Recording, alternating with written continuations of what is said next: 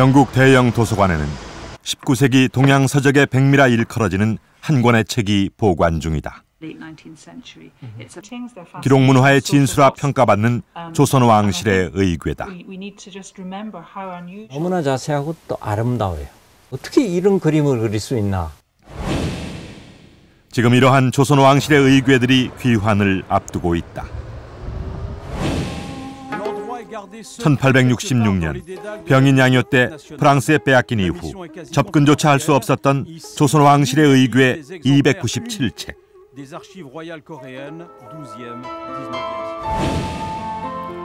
왕만이 볼 수 있도록 특별히 정성을 다해 제작된 의궤들이다. 종이의 지질이라든가 또 그 글씨체 그 자체가 국보 뭐 보물이라고 할 수가 있어요. 145년이라는 긴 기다림 끝에 제자리로 돌아오게 된 조선 왕실의 의궤들. 그동안 베일에 가려 있던 의궤들은 어떤 모습일까?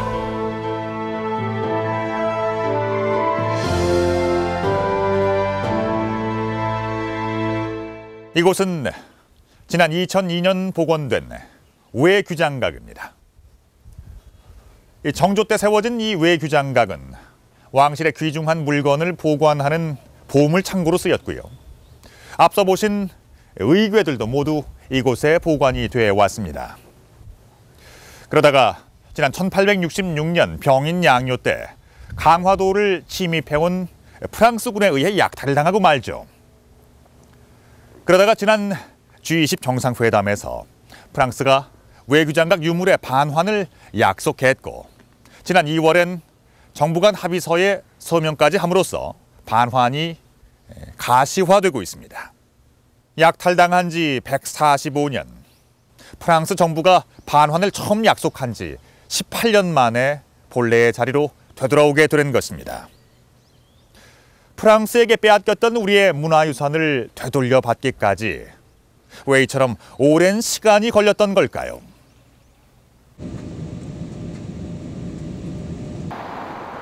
양국 간 의궤 반환을 합의한 G20 정상회담 이후 프랑스에서는 외교 장각에 관한 언론 보도가 쏟아지고 있다.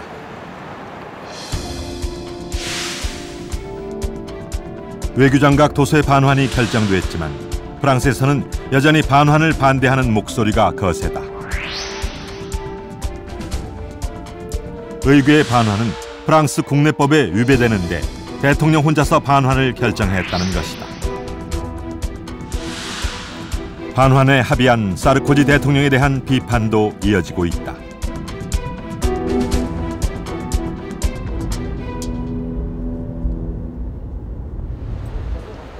예술 분야 전문 일간지인 라트리부트 아트 편집장을 맡고 있는 디디에 리크네는 반환을 반대하는 대표적인 언론인이다.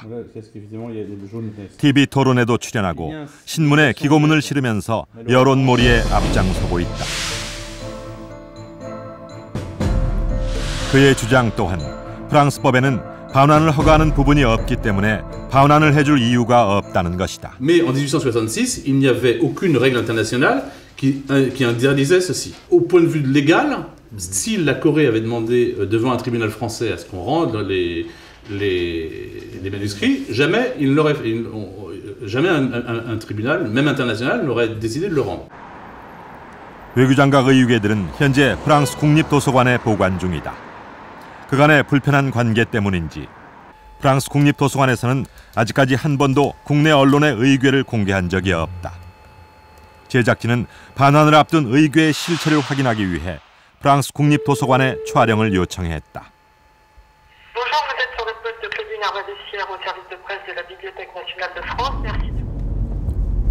하지만 아무런 답변도 들을 수 없었다. Donc. 지난해 11월 양국 정상들은 5년 단위 갱신대의 형식으로 외교장각 도서를 돌려받는데 합의했다. 외교장각 의궤 반환이 확정된 것은 지난해 11월 G20 정상회의에서 반환에 합의하면서부터다. 그러자 300명에 육박하는 프랑스 국립도서관 사서들이 서명 운동까지 하며 반대에 나섰다. 근데 지금 의- 의궤의 많은 부분 책들이 우리나라 왕실의 의전에 관련된 얘기들이에요. 그래서 이거를 의전을 공부하는 연구하는 학자들이 이거를 이거를 되게 중요시 여기고 여기에 집착을 되게 많이 해요. 그래서 이 사람들은 되게 골수고 호수적이어가지고 설득하는 게 쉽지가 않아요. 그리고 이 사람들의 영향력은 되게 커요. 생각보다.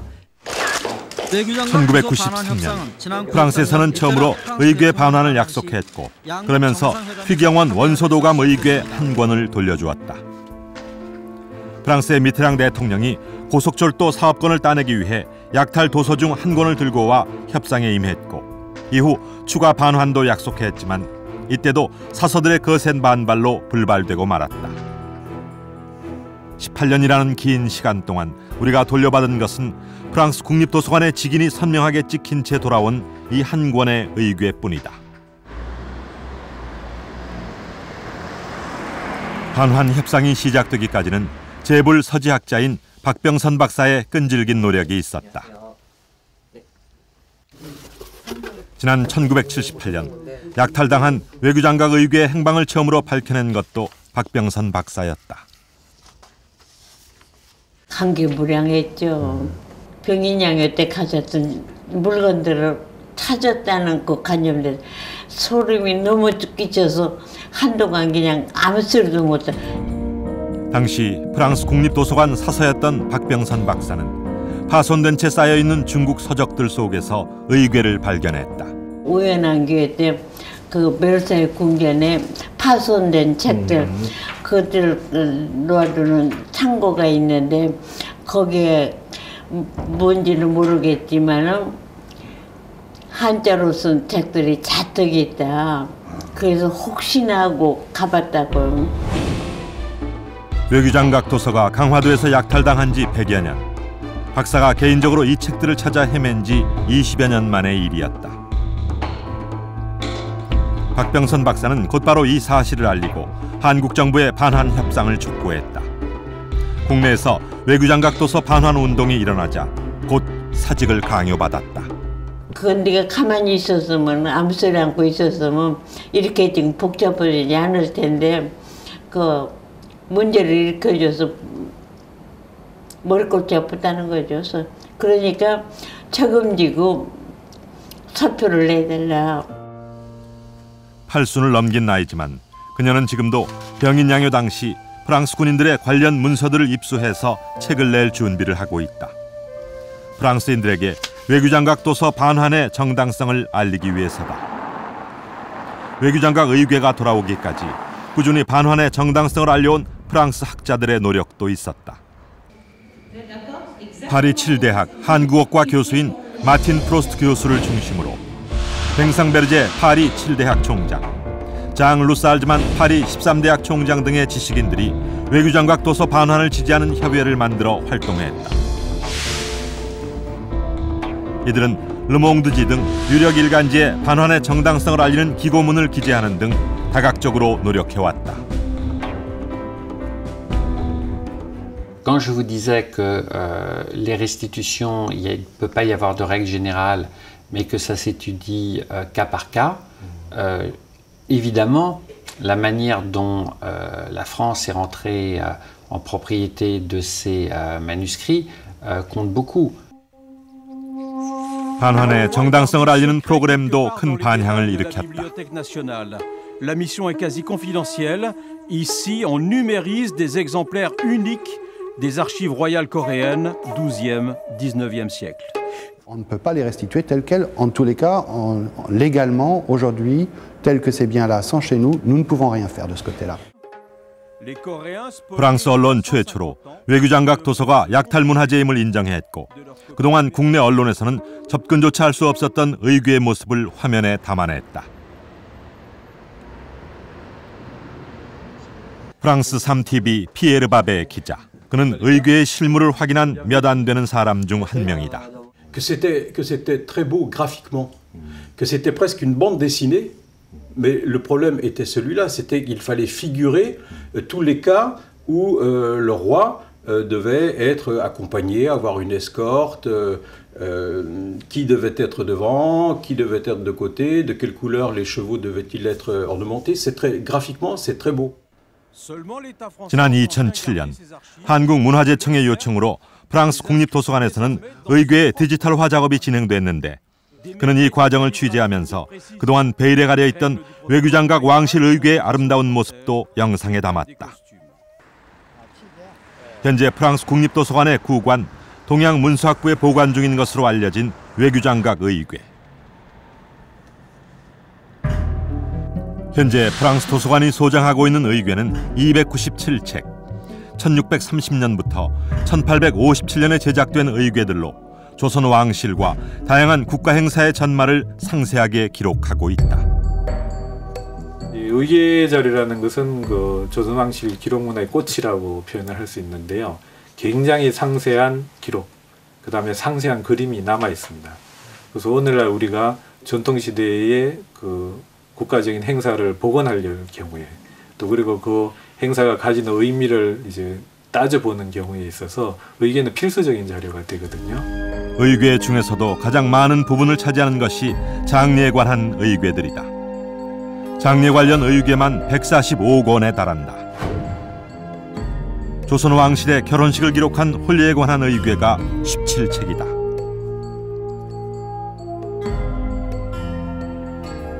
궁궐의 건축 및 정비와 관련된 의궤도 21권이나 된다. 인조의 할머니인 인빈 김씨의 묘소를 원으로 격상시키는 과정을 기록한 상시 봉원 도감 의궤의 경우 국내에는 없는 유일본이다. 돌아오는 책 중에는 유일본 30책도 포함돼 있다. 조선 왕실에서 만든 의궤 가운데서 가장 품질이 좋은 의람용 의궤가 대부분이라는 겁니다. 그래서 이것은 같은 내용의 의궤가 설령 국내에 있다 하더라도 그 자체가 그 문화재적 가치가 큰 물품이기 때문에 돌려받아야 된다는 것이고요. 그 다음 또 그 중에는 또 30책의 유일본 의궤가 포함되어 있습니다. 이 자료는 국내에도 없는 자료이기 때문에 더욱더 이제 돌려받아야 될 이유가 생기는 거죠. 외교장각 의궤들은 그동안 단절돼 있던 조선 왕실의 문화와 역사를 복원해낼 수 있는 값진 보물들이다.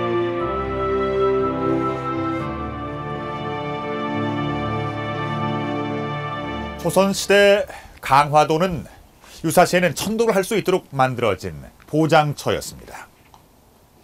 그래서 강화도 안엔 행궁을 설치하고 그 행궁 주변엔 수대에 걸쳐서 내성과 외성을 쌓았으며 곳곳에는 망루와 이 같은 포대를 두어서 외적이 침입하지 못하도록 철저히 방어했습니다. 헌데 병인 양요 당시에 프랑스군은 이곳 강화도를 가장 먼저 공격했습니다. 왜 하필 강화도였을까요? 대체 145년 전 강화도에선 무슨 일이 있었던 걸까요?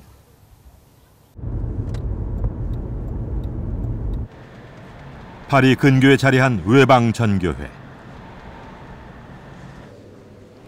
1658년 교황청에서 설립한 이곳에서는 주로 아시아 지역의 선교사를 파견해 왔다. Ce sont des pères des missions étrangères qui sont donc euh, morts euh, martyrs euh, en Corée, donc surtout 19, e siècle. 포교 활동 중 순교한 선교사들을 기리는 기념관에는 19세기 후반 조선에서 숨진 9명의 초상이 남아 있다.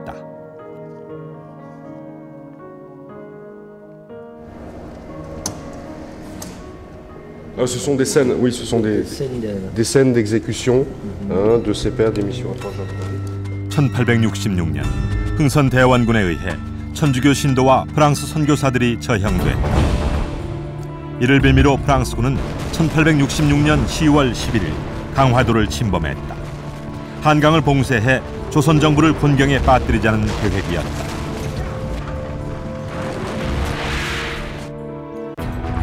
병인 양요 당시 참전했던 병사의 규모는 1,400여 명. 당시 프랑스 극동 함대를 이끈 것은 구스타프 로즈 제독이었다.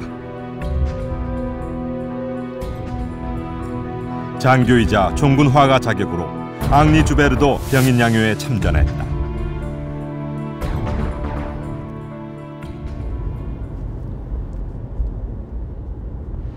제작진은 수소문 끝에 앙리 주베르의 후손을 만날 수 있었다.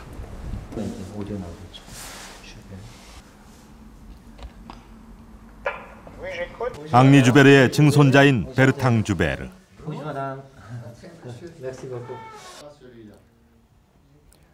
화가 집안에서 태어난 주베르는 퇴역한 후에 꾸준히 그림을 그렸고 19세기 말엽에는 파리를 대표하는 풍경 화가로 이름을 날리기도 했다고 한다.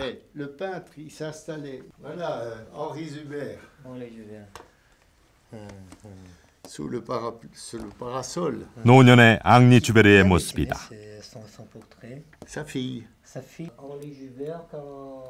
그는 해군 사관학교를 졸업하고 장교로 임명되자마자 아시아 원정 배에 올랐다고 한다. C'est un an après la campagne de Corée. 1866년 병인 양요 당시 그는 22살의 청년이었다.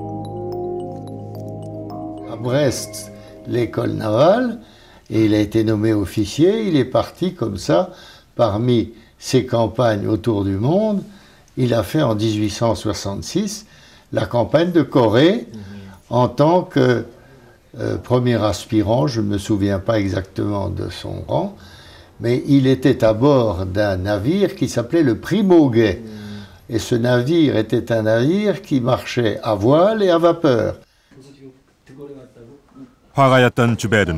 여행을 할 때마다 주머니 속에 작은 스케치 노트를 넣고 다녔다고 한다. Un. 주베르가 유품으로 남겼다는 스케치 노트를 확인할 수 있었다. Vous voyez un peu, il faisait ça, il avait toujours 그가 아시아 원정길에 올랐다는 프리모게 호로 추정되는 배 그림도 남아 있다. 증기로 가는 최신식 함대였다는 프리모게. 병인 양요 당시 프랑스군은 프리모게를 비롯한 일곱 척의 함대를 이끌고 강화도를 침공했다. 그리고는 당시 군사적 요충지였던 갑곳을 통해 강화도에 입성했다. 당시만 해도 갑곳은 김포와 강화를 연결하는 배들이 오가던 나루터였다. 하지만 지금은 간척지로 변해버렸고 작은 표지석 하나만이 과거 이곳이 나루터였음을 말해주고 있다.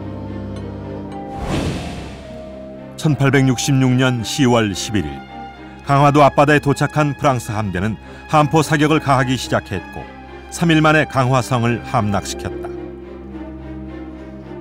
10월 16일에는 강화 유수부를 점령했다. 강화 행궁 안에는 왕실 도서관 별관인 외규장각이 위치해 있었다.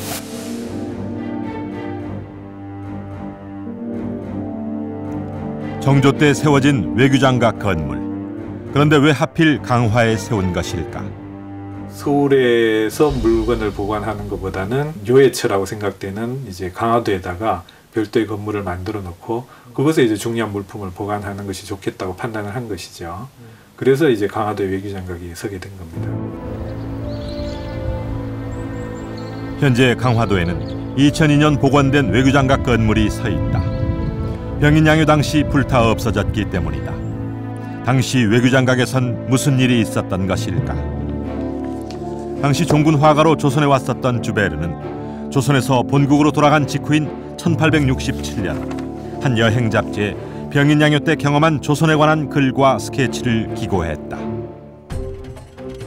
그가 남긴 스케치에는 병인 양요 당시의 침략 과정과 전투 상황들이 상세히 묘사돼 있다.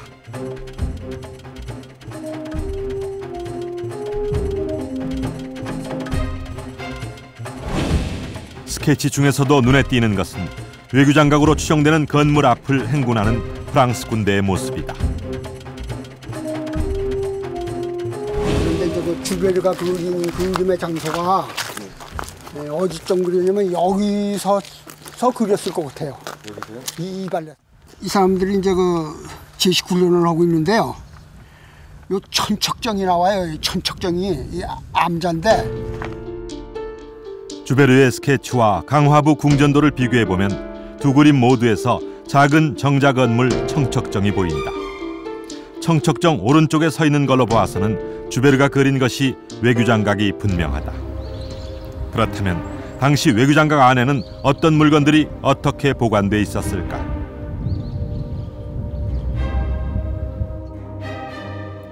(1857년에) 작성된 외교장각 형지안 외교장각 소장품 목록격인 이 책에는 보관됐던 물품의 명칭과 숫자 그리고 보관 위치까지 상세히 기록돼 있다.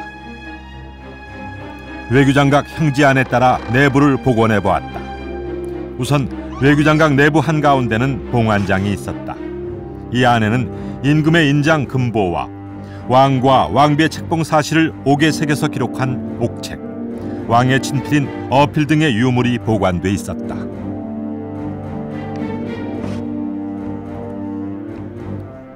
북쪽에는 큰 탁자가 두 개 있었는데 바로 이곳이 의궤를 보관하던 곳이었다.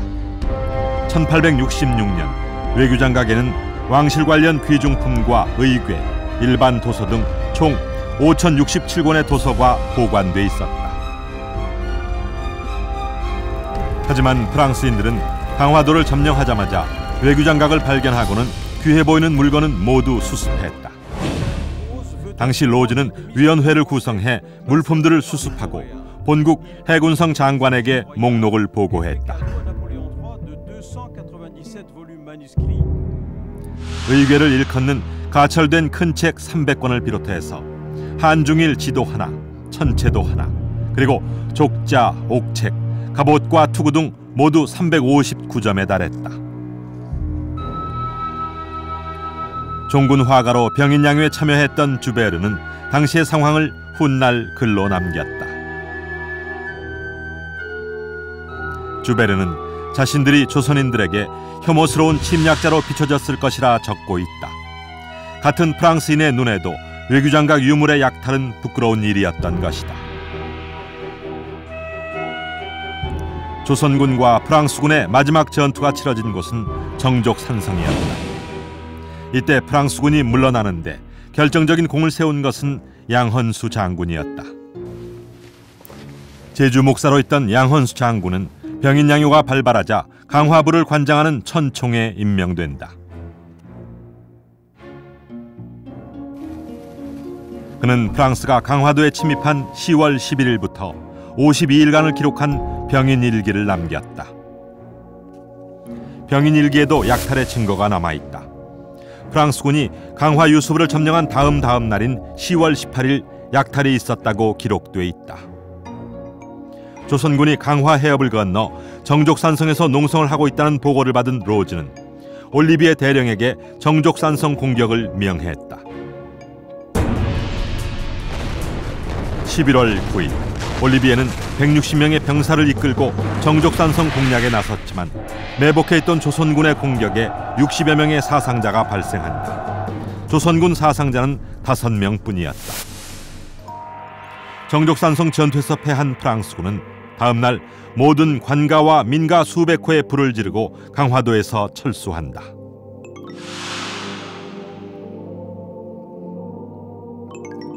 로즈 제독이 황제에게 바친다고 보고한 340여 종의 책들에는 의궤도 포함돼 있었다. 당시 프랑스군의 방화로 귀중도서 804종 4,730권이 소실됐다.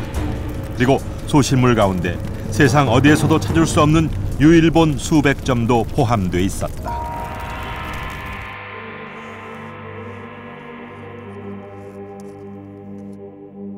이곳 정족 산성에서 양헌수 장군이 이끄는 조선군에게 패한 프랑스군은 전의를 상실하고 도망치듯 이곳 강화도에서 철수합니다. 그리고 철수하면서 가져갔던 의궤들은 프랑스 왕립도서관에 보내져서 그곳에서 소장을 하게 되는데요. 문화 대국으로 자처하는 프랑스인들의 눈에도 우리 외교장각 의궤는 그만큼 가치가 있어 보였던 겁니다.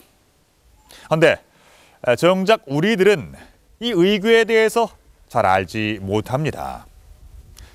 당대 최고의 인쇄 재본 기술이 동원됐다는 외규장각의 의궤. 지금부터 그 가치를 알아보겠습니다.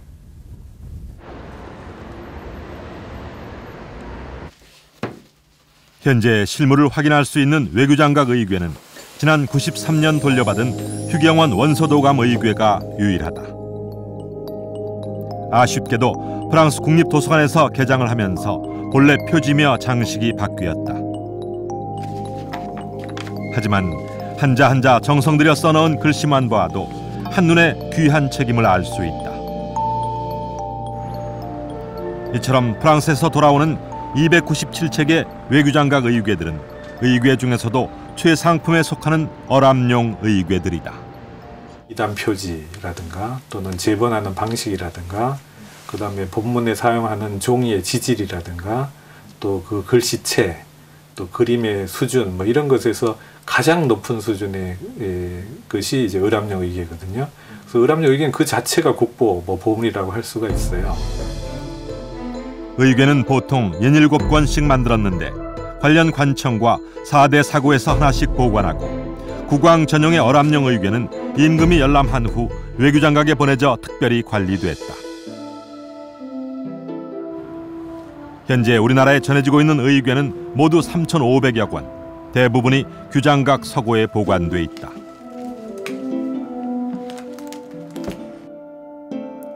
그 중에서도 영조 정순왕후 가래도감 의궤는 그림이 화려하기로 손꼽힌다.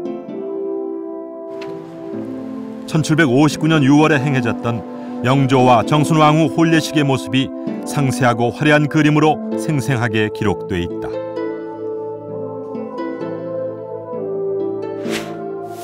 내용은 같지만 국내에 남아있는 분상용 의궤와 프랑스에 있는 어람용 의궤는 차이가 있다.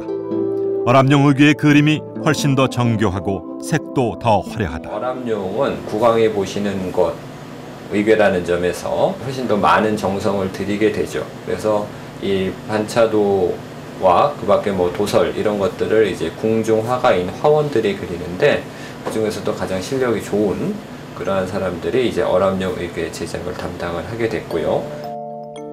어람용 의궤에 들어가는 그림에는 안료도 최고급을 썼다.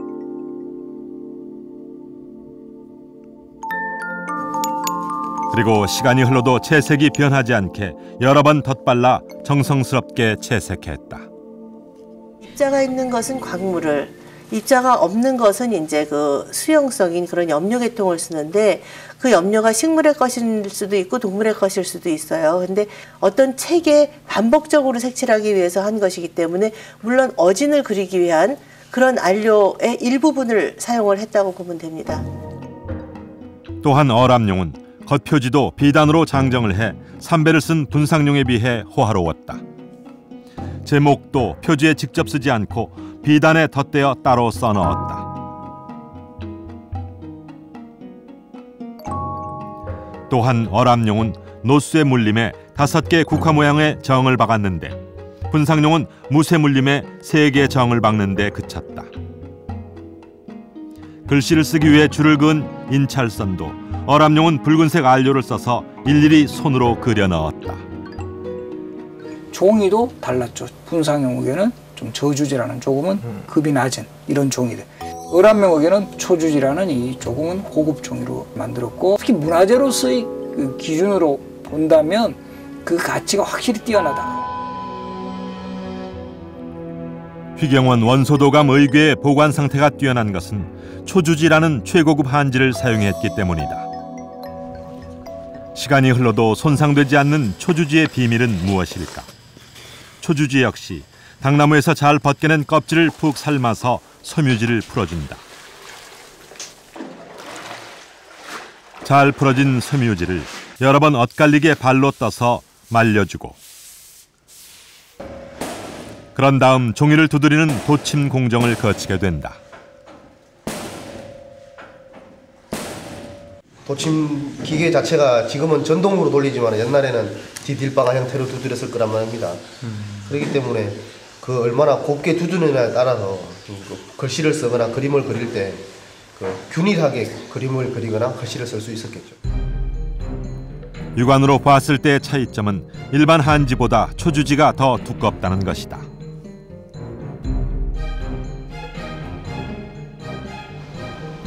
현미경으로 조직을 자세히 살펴보면 일반 한지에 비해 초주지의 조직이 훨씬 더 치밀해서 밀도로 따지면 6배 이상 높다.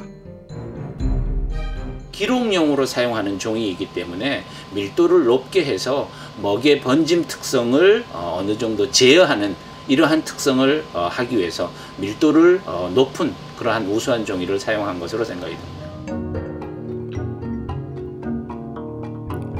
실제로 글씨를 써서 비교해 보았더니 일반 한지에 비해 초주지의 번짐 현상이 덜했다.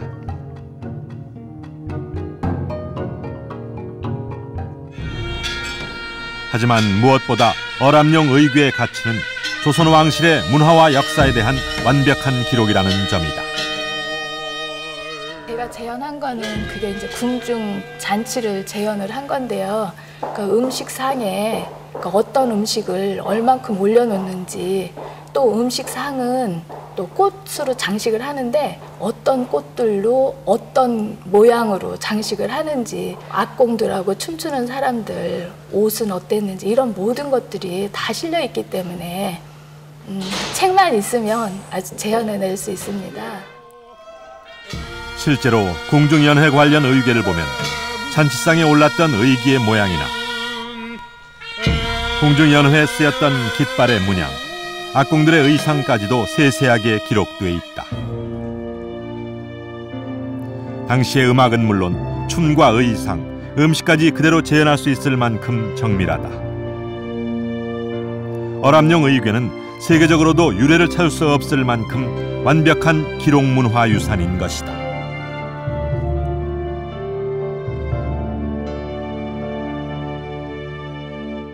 이것은 보물 제 11호로 지정이 된 조선시대 강화 유수부 강화 동종입니다. 아, 이 동종은 병인 양요 때 프랑스군이 탈취해 가기 위해서 갑곤나루까지 운반해 가다가 조선군이 추격을 해오자 너무 무거워서 포기하고 도주했다는 사연을 갖고 있습니다. 예, 프랑스군은 의궤뿐만이 아니라 은궤 19상자, 갑옷 지도, 옥책에 이르기까지 값어치 있어 보이는 물건은 모두 챙겨서 강화도를 떠났습니다. 그런데 이번에 돌아오는 것은 의궤뿐입니다. 자 그렇다면 나머지 유물들은 어디에 있는 걸까요?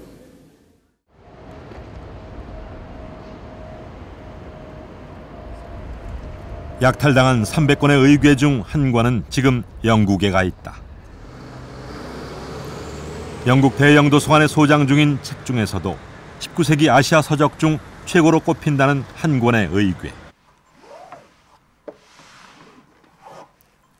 조선 왕실의 연회를 기록한 기사진 표리진찬 의궤다. 1809년 순조가 대왕 대비이자 자신의 생모인 해경궁 홍씨의 회갑을 맞아 베풀었던 대규모 궁중잔치를 기록한 의궤다. 손잡이인 고리며 국화무늬 정, 비단 표지까지 장정도 예전 모습 그대로를 간직하고 있다. 이 의궤는 지난 1992년 이태진 교수에 의해 처음으로 행방이 확인됐다. 금한 서관이었는데 그걸 이 불빛에 보고서 그냥 온몸에 그 소름이 돋을 듯한 그런 그 충격을 받았습니다. 그림이 너무 자세하면서도 그 너무나 자세하고 또 아름다워요. 아, 그래서 어떻게 이런 그림을 그릴 수 있나 하는 그런 그 놀라움 속에 또 의기가 정말 이런 것도 있구나 하는 감격 이런 것이 이제 뒤엉켰던 것 같습니다. 외교장각 형지안을 보면 병인 양요 당시에 기사진 표류진찬 의궤가 외교장각에 보관돼 있었음을 알 수 있다.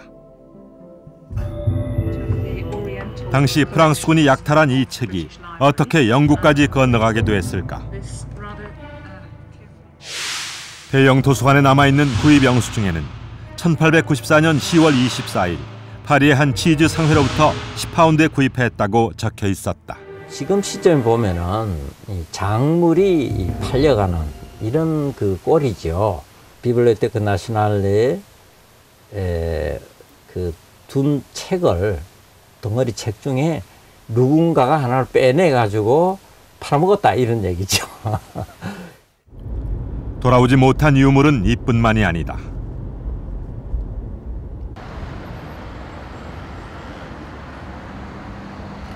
파리에 있는 앵발리드 군사 박물관. 군사박물관 안에 있는 생누이 교회. 나폴레옹의 시신이 안식돼 있는 곳으로도 유명하다.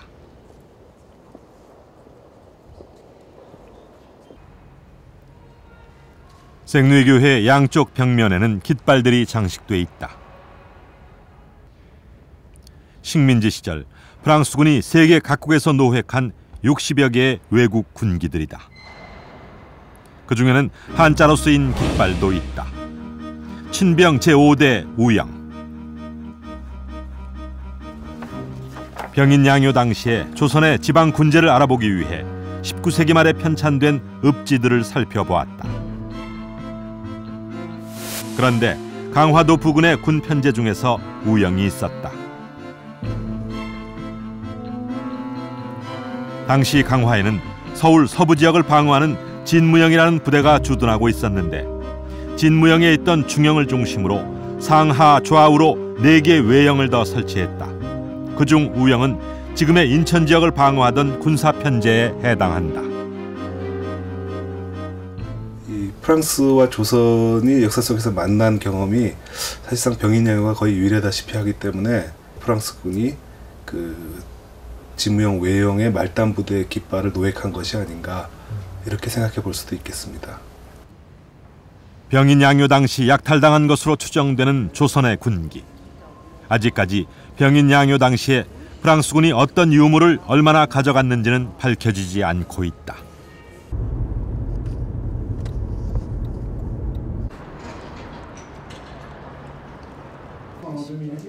파리 7대학에서 한국사를 강의하고 있는 이진명 박사. 그는 10년 넘게 약탈 유물의 행방을 추적해왔다. 그러던 중 프랑스 국립도서관에서 의궤 외에 다른 유물도 소장하고 있다는 것을 확인했다. 그 외에도 어, 그 아주 아주 아름다운 동아시아 지도가 한 점 있고 그거는 아주 보물급으로 아름다운 지도예요. 아주 정밀하고. 현재 프랑스 국립도서관 지도 도면부에 소장 중인 지도는 실물은 공개하지 않고 있고 열람을 요청하면 파일로 받아볼 수 있다고 한다. 왕반천하 여지도라고 이름이 붙어 있는데 외교 장각에서 온 조선본 동아시아 지도예요.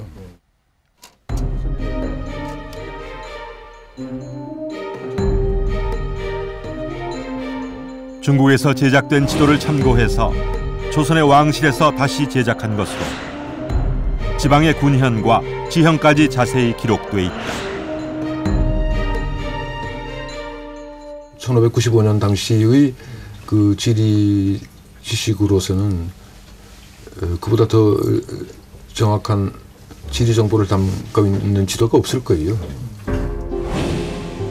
천하여 지도는 크기 면에서도 당대 최고를 자랑한다. 지도를 실물 크기로 출력해 보았다.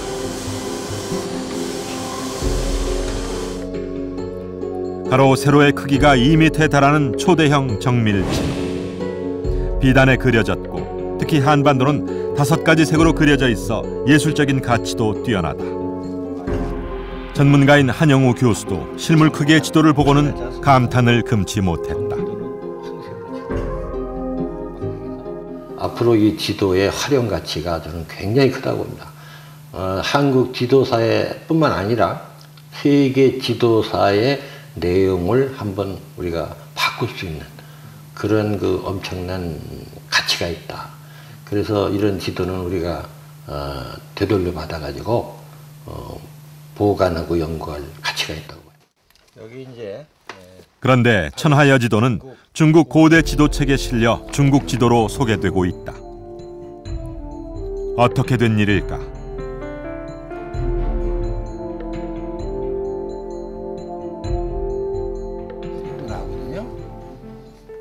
프랑스 국립도서관에 있는 어떤 사서가 이 지도를 지도 창고에서 발견해 가지고 학회에다가 여러 번 발표를 한 거예요.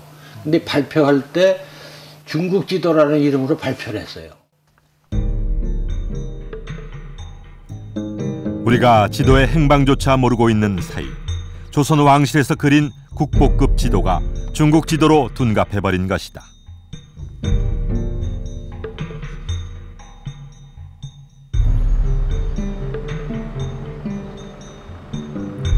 천하여지도가 외규장각 약탈 유물이었다는 것을 확인시켜준 결정적 증거는 2004년 로즈 제독의 후손에게서 입수한 한 권의 보고서였다. 강화도에서 로즈 제독이 프랑스 국립 도서관에 준 도서 목록이에요. 한국 컬렉션이라 이름 붙여진 이 보고서는 로즈 제독이 약탈 유물을 프랑스 국립도서관에 기증하면서 받은 확인증으로 유물의 리스트가 상세히 적혀 있다. 로즈 제독이 강화도에서 작성한 약탈 리스트에는 존재하지만 옥책, 갑옷, 가면 등은 국립도서관 기증 목록에는 빠져 있는 유물들로 아직까지도 행방이 밝혀지지 않았다. 왜 297건 외에 다른 거는 얘기를 안 하느냐. 네, 그래서 그- 그- 그거를 밝혀야 된다고 여러 번 얘기를 하- 하는 이유가 뭐냐 하면은 그런 것도 협상 테이블에서 얘기를 하라고. 그것부터 먼저 어, 밝혀 어, 놔야지 나중에 문제가 없을 거 아니에요. 프랑스가 약탈해간 360여 점의 유물들, 의궤 외에는 아직까지 행방조차 파악하지 못하고 있는 것들이 많다. 천하여 지도처럼 소재가 확인된 유물조차 이번 반환 협상에서 제외됐다. 외교장각 의궤의 반환은 빼앗긴 유물들을 제자리로 돌려놓는 대장정의 시작일 뿐이다.